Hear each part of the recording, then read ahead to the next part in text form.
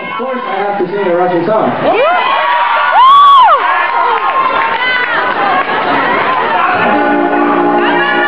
First, I want to sing a song I wrote after my ex-girlfriend.